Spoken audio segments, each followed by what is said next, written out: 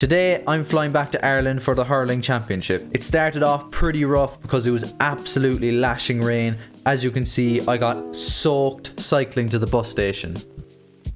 We're very fortunate to live only 10 minutes away from Schiphol, so it was a very easy bus journey. It was lucky I got there very early because there was a massive line for check-in. Made it through security alright, and then I started the extremely long walk down to my gate. I then got a coffee and just watched the planes go by. Got a little bit nervous because my plane was delayed by about an hour. The Aer Lingus plane I got was painted to look like a retro plane. As plane journeys go, it was pretty smooth. I was delighted to come home to a sunny Ireland and to see my animals again.